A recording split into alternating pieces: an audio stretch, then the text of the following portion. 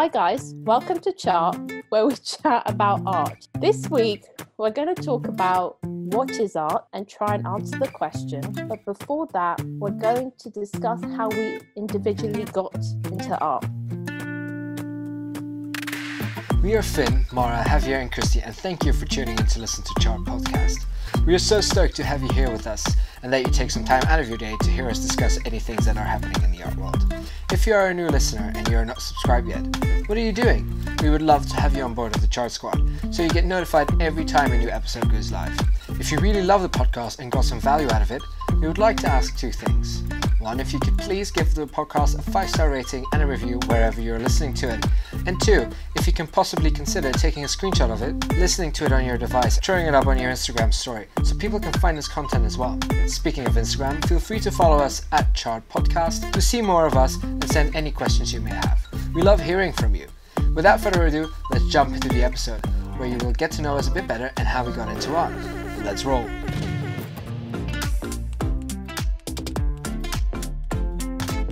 Christy. serious introduction. That's like Thanks. a serious start. Okay, Christy, please do Go tell. ahead. I I kind of grew up where my dad was really interested in drawing cartoons, and I really liked that. Uh, so I kind of tried to like draw cartoons with him as well. I vividly remembered there was this one time where I had hamsters and I made a really big maze out of foam boards for my hamsters. So that was like kind of my first interaction with like crafting and art and stuff. I never was really exposed to what art is in like the contemporary setting in terms of its value or its um its political context and all the stuff that it addresses. Uh, and then I went into high school, well, more like middle school, and I did like, I really liked just drawing in general.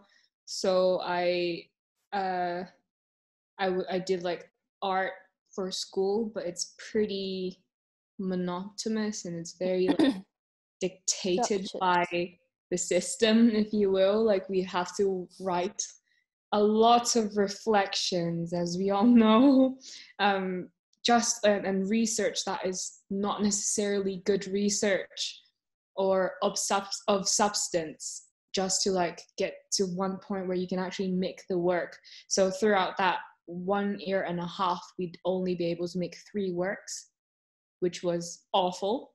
Um, and uh, my middle school teacher also told me that I lacked creativity, so I better not do the fine art module, and instead I should do the design module, which I was fine with. Um, that, and then I went into uh, boarding school in the UK for A levels, and I, I took DT and that product design because of like the whole design thing, and I also did um, fine art painting and history and maths. that's where I really fell in love with painting because my tutor in uh, fine art department, he was a painter himself. He graduated from Royal College of Art, and then he also painted in Amsterdam. Um, and like I just find his work incredibly interesting. His name is Peter Peter Lilliot. If you're interested, um, Link in the and uh, Link in bio. link in bio. um, yeah, and and that's kind of how I really got into the whole idea of the process of making art, but again, not necessarily um, art theory or stuff like that, because um, I was also one of those where my entry point to art was aesthetics. And I also thought um, it's just about making things look pretty to me, or of, of what art is and what um, the idea of making is. Um, and then I went to art school because I just thought it would be really fun to be in art school. uh, so during my time at Slade, it was also very much like I was struggling to find my style as well. Um, because a lot of the people were talking about like narratives, like painting, uh, what does it do? What is it supposed to do? Like, how is it engaging people? And I actually find that quite stressful that I have to like, it's like kind of an agenda that you have to do to give your work to engage people. And I find that it's almost like a design brief. And I really didn't like that. Um, so, anyway, I graduated, uh, which is when I decided to uh, learn a little bit more about art theory and art history because I was still struggling to understand the whole deal about what really is art and what does it do? Because uh, even after graduating from art school i like to me art is just fun. To me art is just a way to express myself and something that i really enjoyed. And i wanted to kind of find a deeper not necessarily deeper meaning of it but um, how other people view art. So that's when i came to sotheby's institute of art and uh, learned a lot about art theory and art history and met some course mates that are now friends. Oh, Oh. That's so beautiful. I didn't even say we're no family. Right. that's Uh, cool. It's kind of yeah. similar for me with the reason that I came to Sotheby's. I mean, do elaborate. Finn, tell Yeah, us so- more. Yeah. Uh, my history is that I, for me, it all started uh, when I was little. I wanted to be an astronaut, and I, I was, I was madly obsessed with the whole space race. And for me, when I saw the first time I saw the picture, which was taken on the Apollo 11 mission of the view of the Earth from the moon before they were to land, for me, that's an image that I still think is it holds so much power because it can really it is just this single image holds that whole time of the cold war and that space race between the us and the, the soviet union and it's just embedded in this one image and also besides that the whole idea for me i like photography that's my main thing here we see the earth from a completely different view that we've never seen before. But we know the Earth so well. I mean, it's our surroundings. We know mm-hmm. it's 70% water. The clouds are above us.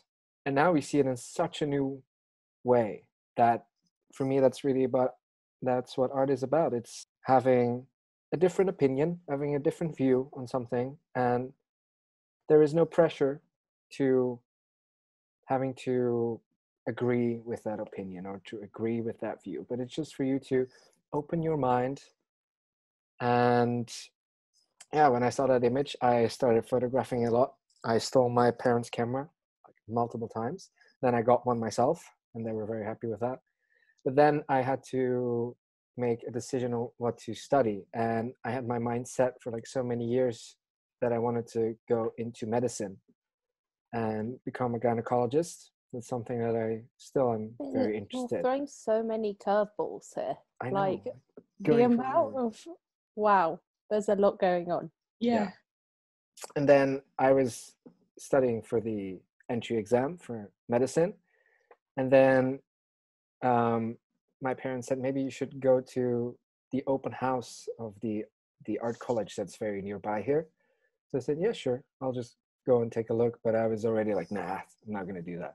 And then I went there and I had a conversation and it's like, yeah, why not actually? And then I registered for the entry exam and I got in and then I just said, okay, let's let's do art then. Let's do visual visual arts. But then, like you said, uh, the education, it, I was never agreeing with the way that they would, you know, teach us. Mm. Uh, and then when I did my master's last year, I was so annoyed at the end because I was so proud of my work. I still am very proud of that work. But, and it sounds maybe very stupid, but my grade was lower than somebody else's grade.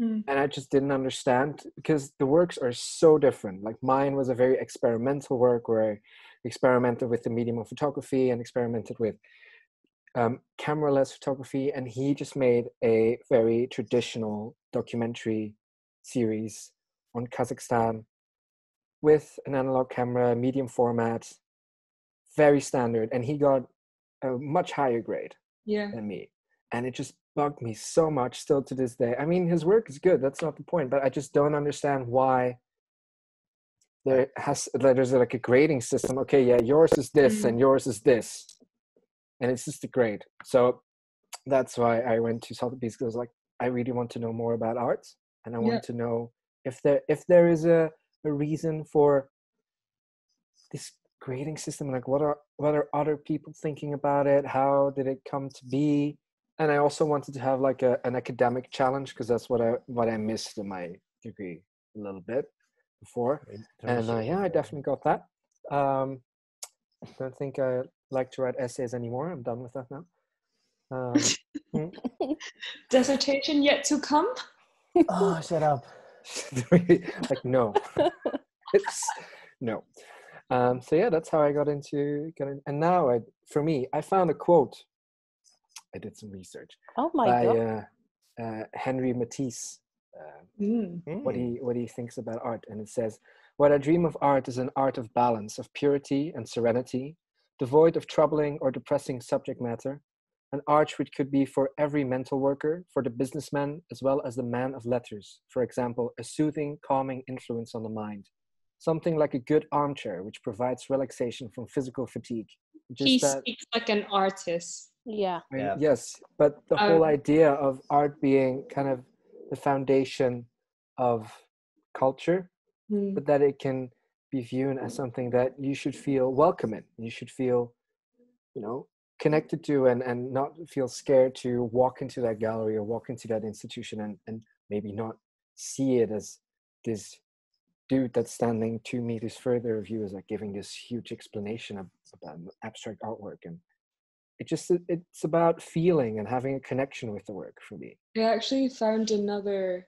quote, if you will, because I was also wondering in my head, like, what actually is art. And I was just on Tate's website and I found uh, Yinka Shonibare's uh, quote, who is a British Nigerian artist who is still alive. Um, and what he said was, it was really when I was at art school that I started to see the relationship between history, philosophy, politics, and art. Prior to that i thought that art was just making pretty pictures but it's actually but art is actually connected to life.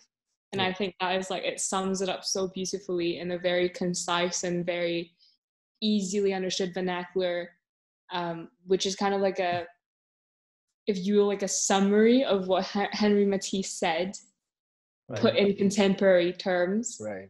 um, of where we are right now um, it, because it, it's it's such a great way to reflect what surrounds us.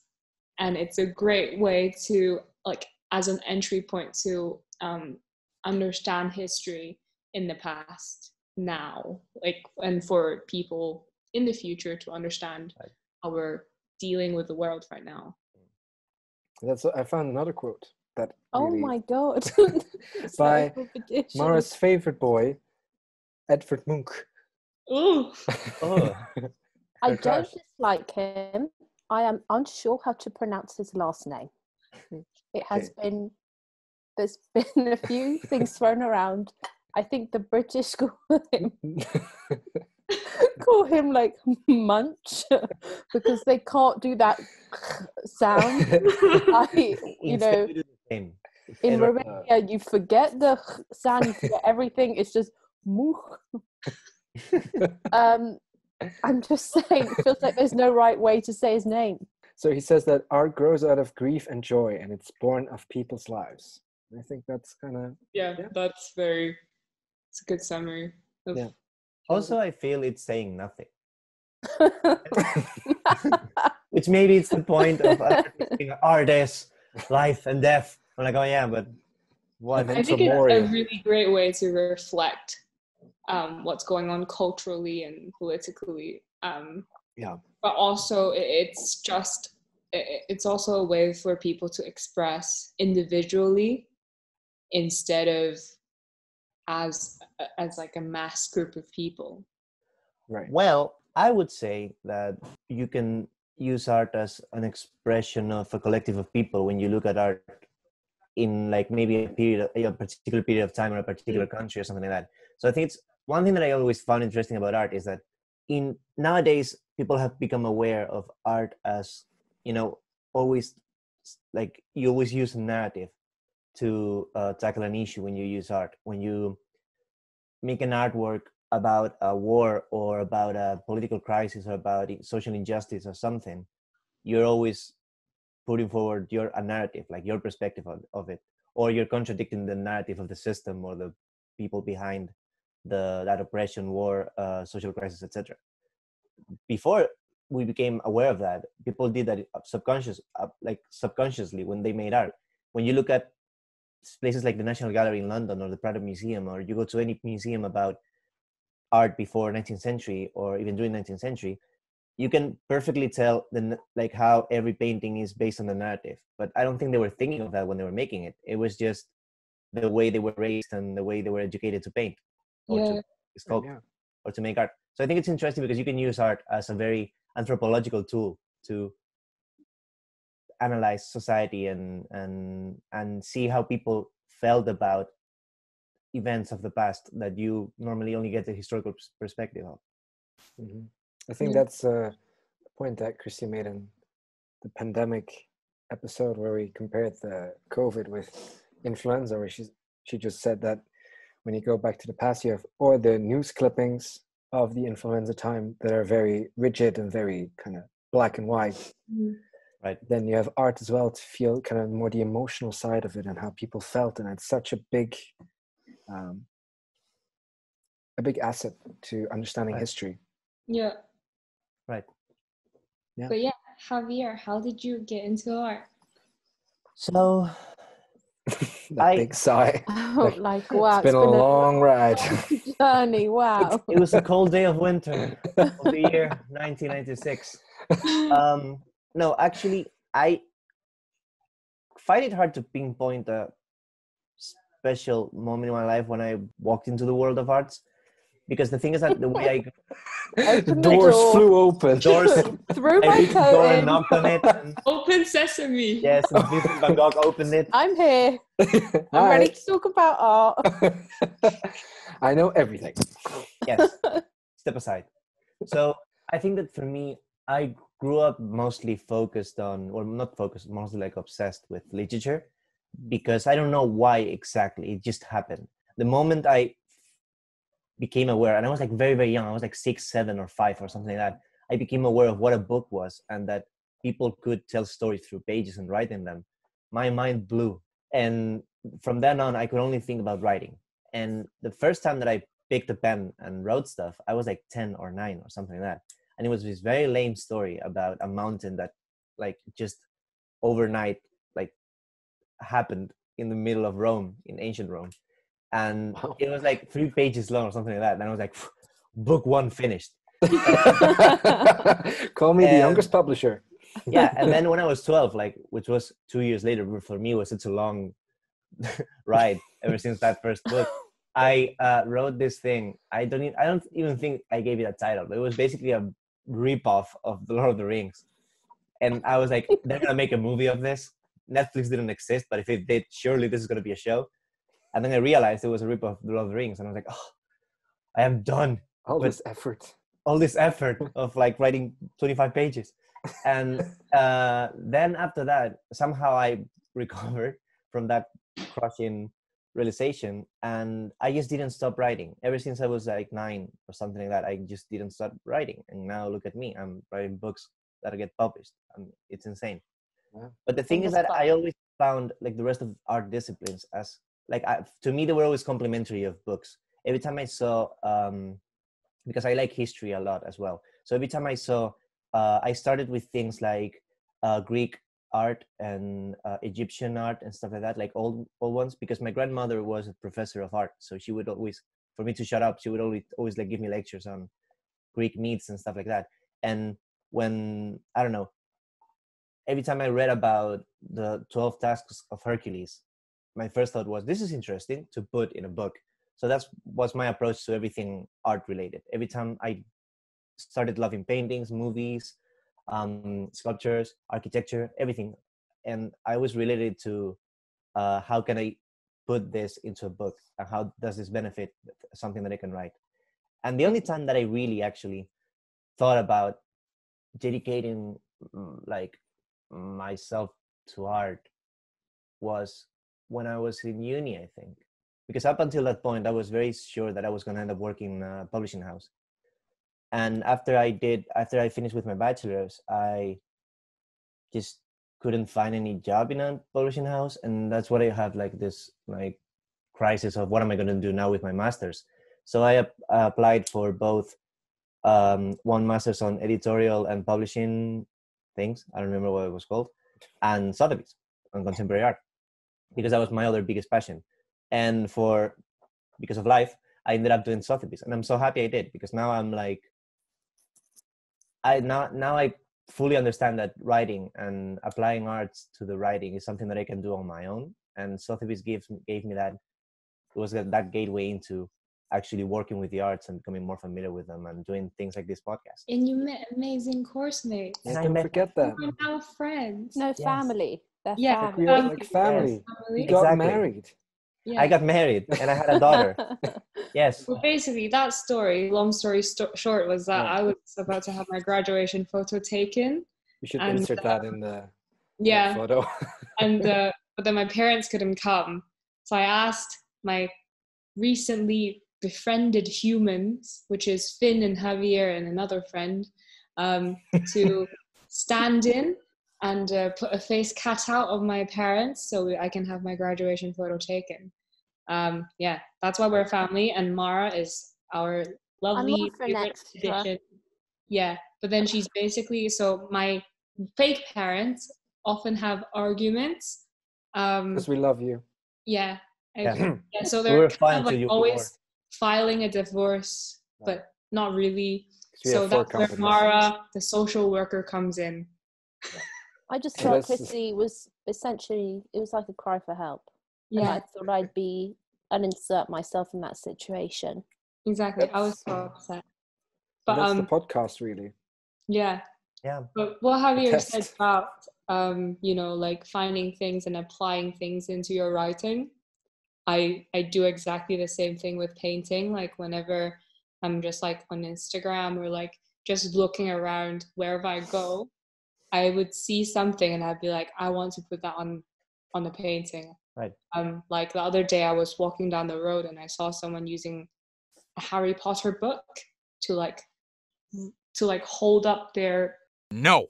window because of the terrible architecture and the Oh. quality of terrible British architecture and building. Yep. Like the window doesn't stay No up. shade on architecture. Yeah, and then, and then they just use like a, a Harry Potter book and put it up, and I just thought that's. if only you had a camera to capture that. And another thing is like sometimes I don't want to like take a po- picture of it, but I want to like work about it through memory. Mara, I Right. just want to say, I think it's so interesting that Javier and Finn both came to do contemporary art as a master's, like through a sort of like wildly different journey, or like maybe a realization a bit later on that that's what they Mm. wanted to do. So I think sometimes people think you're literally born knowing that this is No. what you want to be doing and maybe that's like why people get a bit like this isn't my world because it's so you know it's for those people who are born with like maybe a dad who's got like Right. a or oh, degree and something. I mean, I can kind remember with the first few lectures. Like, I mean, I know a lot about history of photography and contemporary photography, but I didn't know. Well, I knew all the big names like Jeff Koons and oof, that is oof, yeah, big And- oof, and Damien Warhol. Hirst. Yeah. I mean, I, I came into those lectures knowing absolutely nothing actually, and those readings were mind blowing for me. And now I feel a lot more confident in in, in being able to to just look at an artwork and and be feel more free to just you know form my own opinion. And in the beginning, I was like, okay, this person thinks this, so maybe I should. He's probably right. He knows more, so I should think about Right. that too. um okay i my family are mostly architects okay Right. and so growing up my mum who spent a lot of time with us at home she was very like if we're going to do an activity it's either we go to a museum we're going to do something arty at home we're going to there was always like a sort of art based activity so that was a lot of my growing up and my sisters um and I knew when I was really, really little, I was like, I'm going to be an artist. Like, I know I'm going to be an artist when I grow up. Like, there is no doubt about it. I was like, who are these people at school who are like, I'm going to be a horse, I'm be a fireman. I was like, what are you talking about? How can you be passionate about wanting to be a horse? I always found that, like, those sort of, you know, I want to be this. I was like, you don't even know if you like that. Anyway. Um, you were finger painting and you thought this I is was like, I'm going to be an artist. Like, there's no doubt about it. Yeah, I went to a French school where art education isn't really valued. And I thought at some point, like, I'm going to move to an English school where, you know, it was of where these kinds of things are a lot more central to, I mean, it depends which one you go to, but, uh, you know, art education and helping me get into an art school ultimately.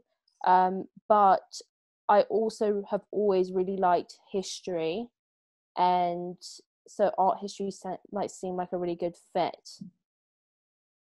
So, um, I did a foundation in fine art at St. St. Martin's, but to me, one of the main things missing was that there was no art education. There was no like art history that I was being taught. There was like nothing to reach back into to be able to create anything. It just felt like I didn't know that much about art history. I'd only done it at school for a couple of years.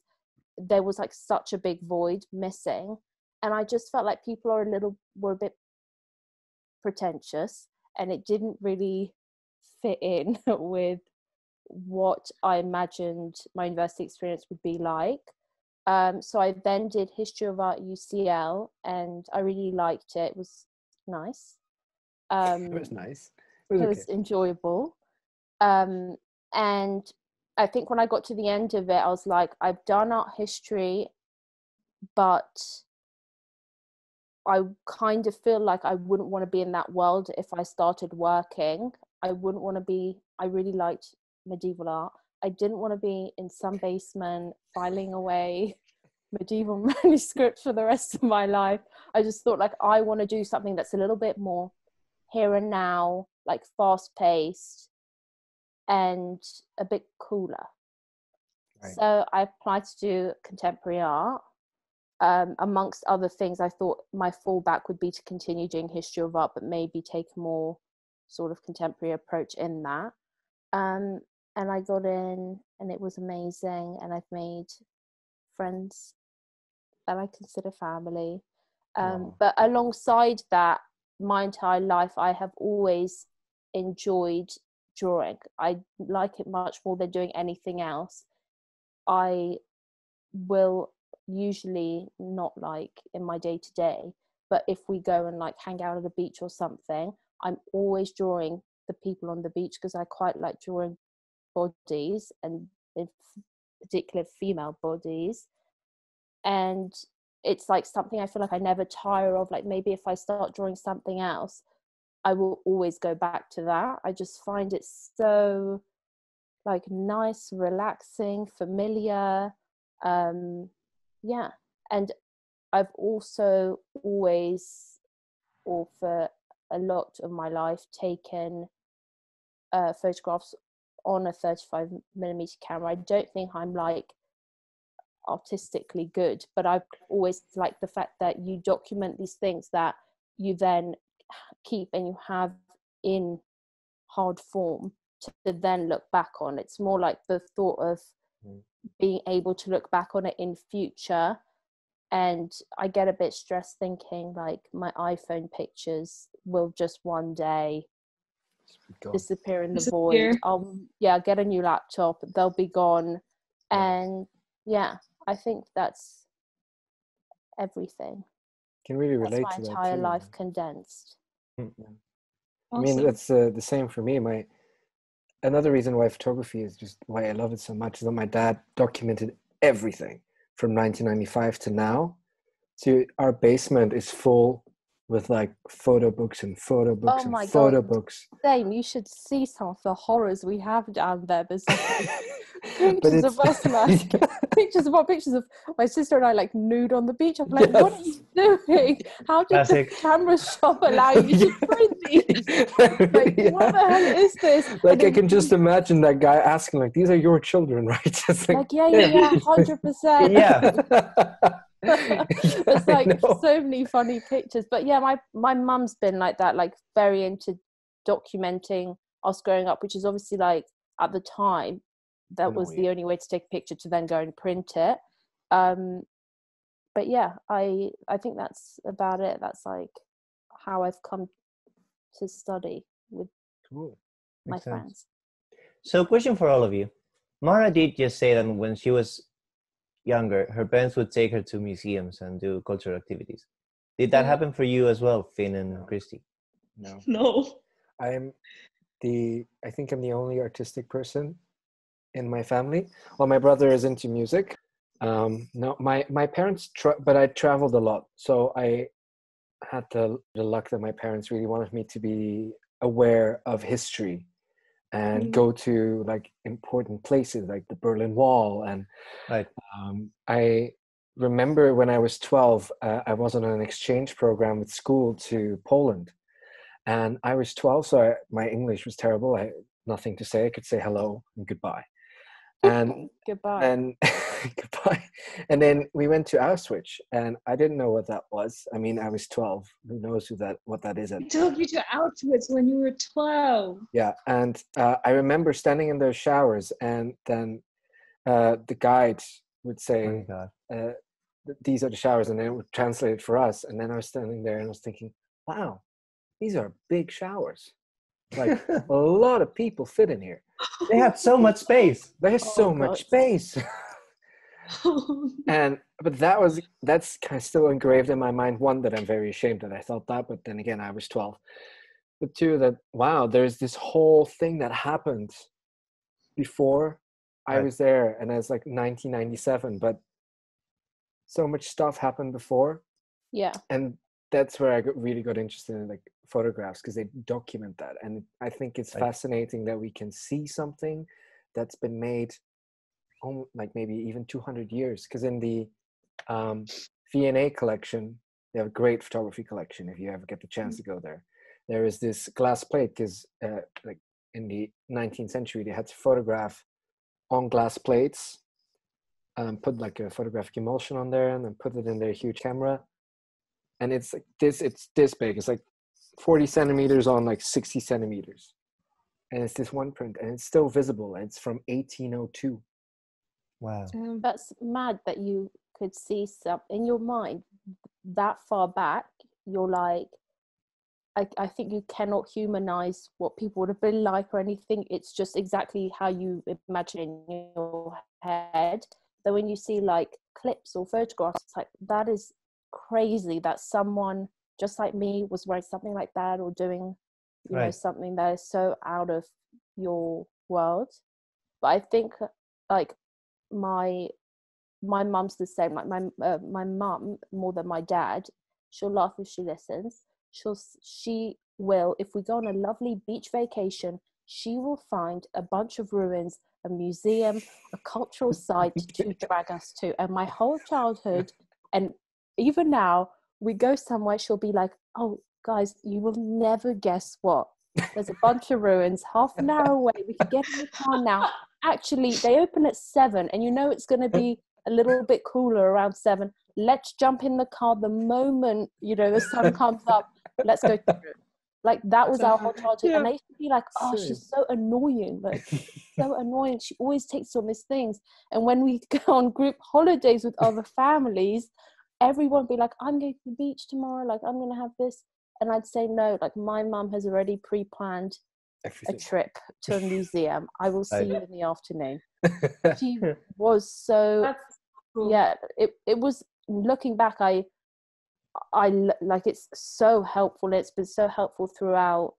You know, whenever I've learned about art history, because I've been like, oh, I went there. Like I can visualize it in my Right. mind. right But at the time, I was like, she's so annoying. It's like forty degrees out. Yeah. I can't believe she's making us do this. Because like for me, whenever like I'm the I would be the family where we're like we're gonna sit out on the beach. Like my parents, like um I'm also like the only person who's really interested in art. Like apart from my dad is quite good at drawing cartoons and he just likes doing it on the side. Um but when we travel around, it was mainly just like, oh, look at this scenic thing, let's go shopping. Like we would never go to a museum. Right. Uh, and uh, when I was like 16, I think, when I was actually like developing a, a critical thinking skills, it was coming. yeah, it was coming. It was slowly coming, and uh, we were in Thailand, and um, they were like, "Okay, I don't know what we're doing. We can just like go to this massage place and be there for four hours and let someone rub their hands on our bodies." And I was just like, you want me to plan out like two days where we actually do stuff and look at really interesting stuff? And um, I, I took them to like an art museum a history museum and the zoo. Love that. It was actually like super fun. Um, but yeah it was like so like for me it's like a completely different story um, in terms of how i grew up and like what i've been exposed to even right. though like being in Asia and being in Hong Kong, being in like one of the most, if you will, RT places, um, I was never exposed to it, which is such a shame. Right. But at the same time, like whenever I go back, I'm like, wow, I've had all this, and I always want to like go to see all of them now. Chrissy is the child I was jealous of growing up. I was like, yeah. my parents are allowing her to like go get a massage and go to the beach, and we're doing this. yeah, and then we're like, let's go eat this, eat that. That's all we cared for, and uh, we had like hot dogs and ice cream in the hot tub. That was fun. I honestly. Funny thing is that I'm like a mix between you two because I was. My parents were always every time we traveled. We hardly like. I think at once in my life we went to holidays like to a beach I was in the Canary Islands like once in my life. I was 14 and that's it. All the other times we always go to places where there's like museums, rocks and ruins and stuff like to look at. But I was a kid who was excited for that. I remember I was nine. I think I was nine the first time I came to London, and the highlight of my trip was going to the British Museum. Right. And beautiful museum. Imagine a nine-year-old like so hyped, actually excited to, to, to see the Rosetta Stone. Like, imagine that. Like when I saw it, I was like, Dad, I was nine. but the funny thing is that although my parents were very I think it was you, Finn, who said it. My parents also were very adamant in like making me aware of history, and and they just said, "This is a place you need to see." Like that, that I heard that so many times when I traveled with my parents, and we would go to I don't know, the Louvre, the British Museum, um, Rome, places like that. They would just, "You need to see this," and but then we got there and they did not have at all this critical analytical mind about what we were seeing. And i always found that very interesting. I remember i was once with my parents in i think it was hamburg? Mm. i think it was hamburg. Um is there a cathedral in hamburg? Yes. Probably. So it was probably hamburg. I remember we were there and my I I just became aware of, through a conversation in front of the cathedral that my dad just thought that the Gothic style of architecture just happened. That there was no philosophical and socio-political and art, artistic and religious reasons why you would move from Romantic architecture to Gothic architecture. And that day, I was it just popped in my head that for my parents, art just happened. They couldn't see the like how it was intertwined with so many other disciplines that advanced and broadened the way people thought and how or just how the society was developing naturally. Right. Yeah. And so i think that's one of the reasons why i also came into the arts because i was very interested in not only how things happen like like like i don't know like why would you some suddenly have impressionism out of this very classical minded um art world? And why did it happen? It's not like someone just said you know what? I'm just gonna make dots and boom it was it had like it had to be a deeper reason why that happened. And like in history as much as i always did i knew that like you never have one cause for something. There's like multiple causes every time.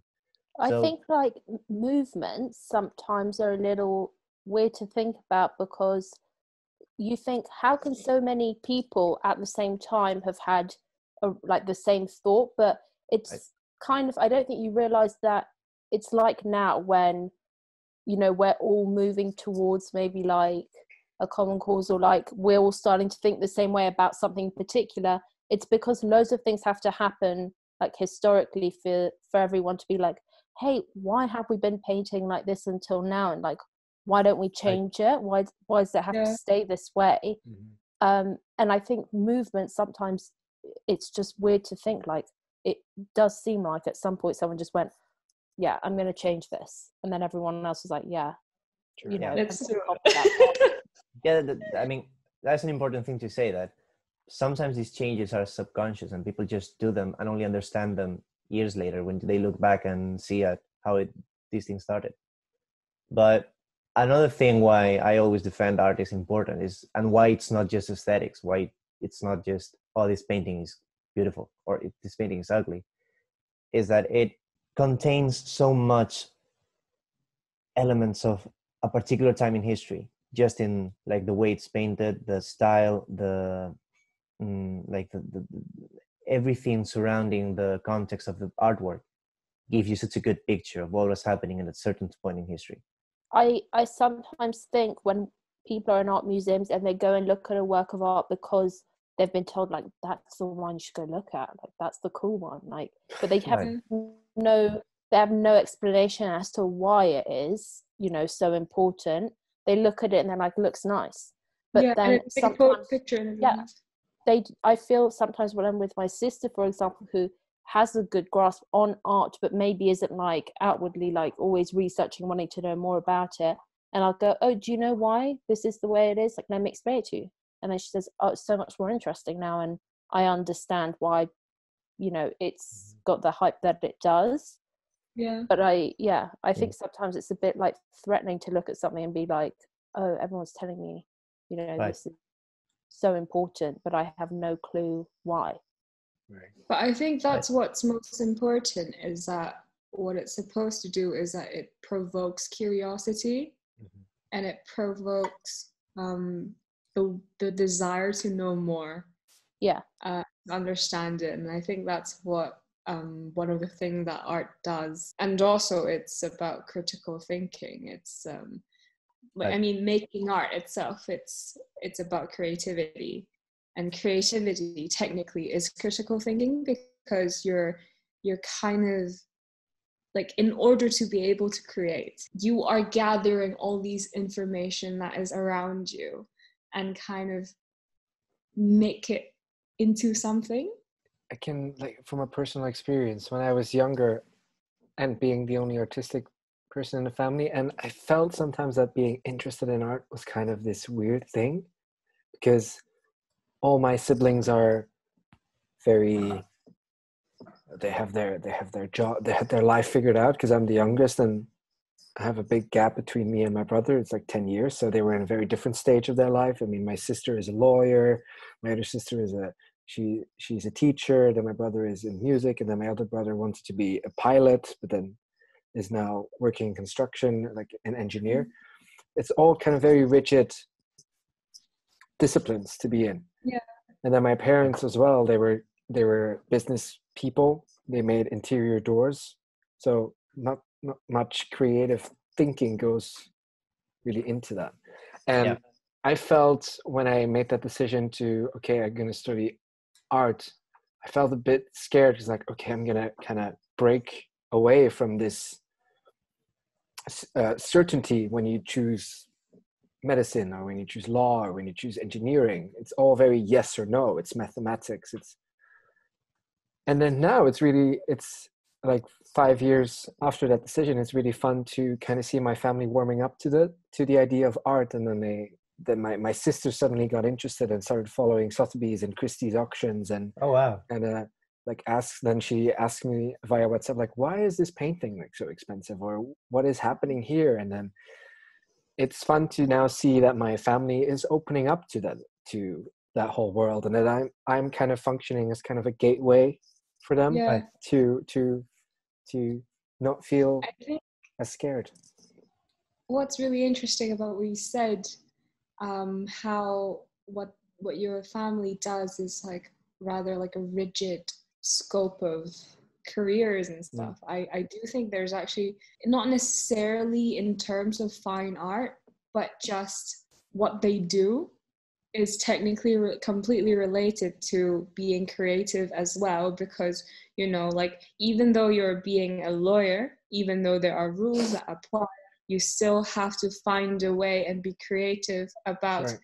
how you put them into use right uh, yeah. like in a case or if you're like a lawmaker and then you have to figure out how to like make it work or as an engineering engineer you have to like figure out what's a better way to make it make this thing work better right. it's all about finding new ways and i think art does exactly that or like it helps people even though you're not completely into what art is and um, and the bedazzle jazzazzle that's around it that's that's around it um, it doesn't matter because it's so deeply inherently embedded in our lives um, but at the same time sometimes we just we just don't realize it because we didn't care to put a name on it which is absolutely fine. I feel like what we said so far is that art definitely art definitely has the power to educate people mm-hmm. and I, to like provoke curiosity but also breaking barriers in a way it breaks barriers because obviously you do need to have a, a, a, a brief understanding of the, the social or political issue that that that was based during that time or during that area but then since most of art, um, excluding written words, sadly, they're mostly very visual and it's about your senses. It's about looking, it's about listening, it's about being attentive and observative of what's around you, which is really important. Mm-hmm. Yeah. And it helps you to like real sometimes realize what you never thought about before.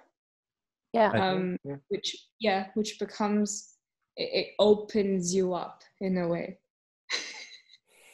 I think that's why art, which is usually does well commercially or in like big modern galleries, that kind of thing that draws in loads of people who maybe don't know that much about art, is usually really bright, really colorful, like something you can mm-hmm. either touch or like an experience.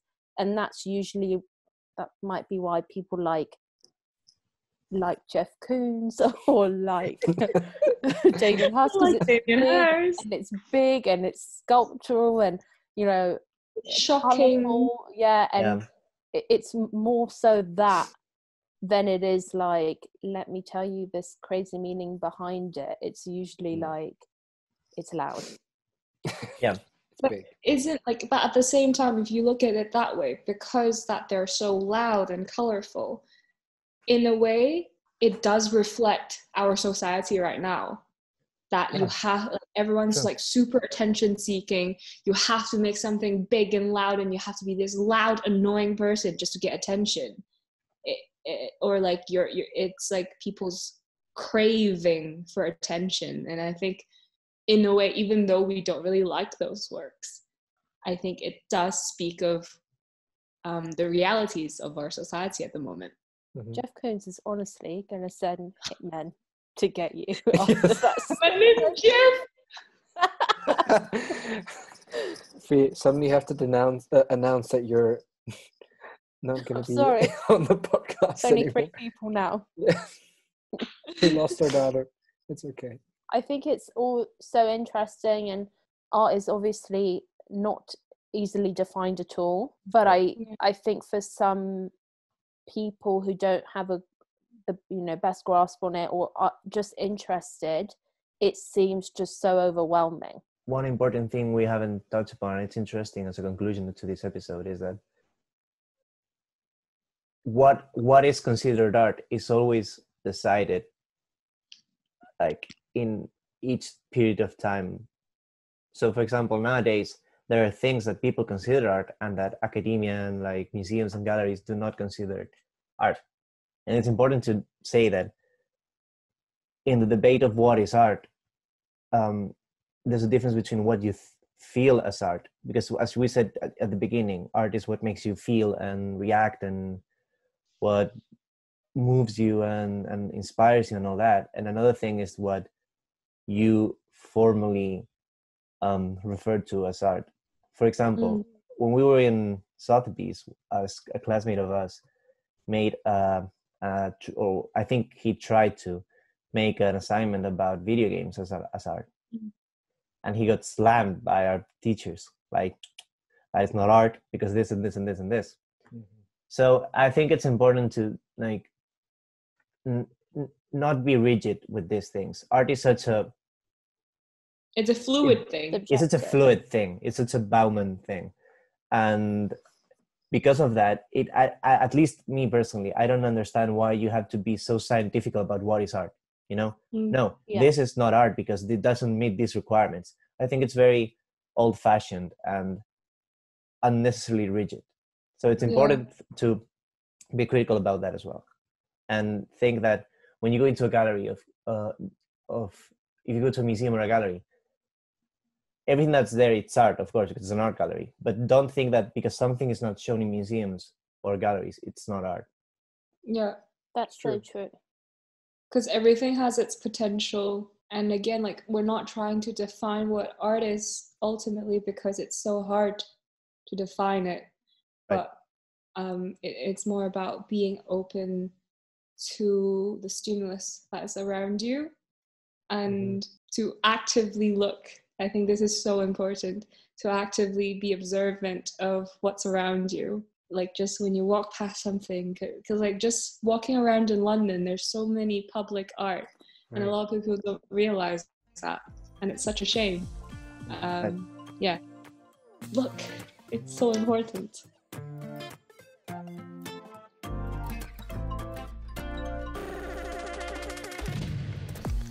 Hope you enjoyed listening to our first ever episode as much as we enjoyed making it. If you especially loved our episode, we would love it if you give it a 5 star rating and a review, and even consider taking a screenshot of this episode and posting it on your Instagram stories. That way, we know that you loved it and other people can find our podcast as well. If you're not subscribed yet, again, what are you doing? Subscribe and get notified every time we publish a new episode. Follow us on Instagram, Twitter, Facebook at Chart Podcast, and if you want to see our faces while we talk, find us on YouTube at Chart Podcast as well. We'd love to hear from you, so if you have any questions, feel free to send us a DM. Definitely tune in for our next episode where we will highlight four black artists in response to the current Black Lives Matter protests that are going on around the world. We are Chart, and we'd hope we'll meet you again at some point in the near future. Take care. Chart out. Love you. see you love you you later. Bye. Bye.